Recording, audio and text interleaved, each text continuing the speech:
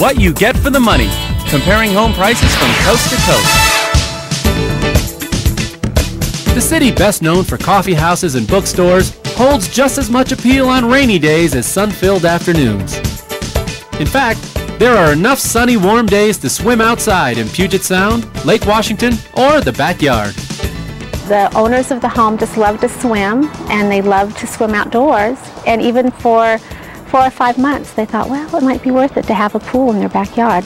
This $1.2 million cottage brings the East Coast to the front door with its knotty pine floors imported from New Hampshire and an heirloom chandelier taken from the owner's New York home.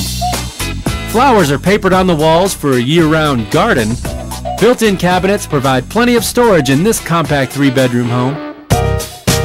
And when the owners want to get out of their gourmet kitchen, there's a village nearby with restaurants and shops, and uh, there's a bathing beach about a block away from here.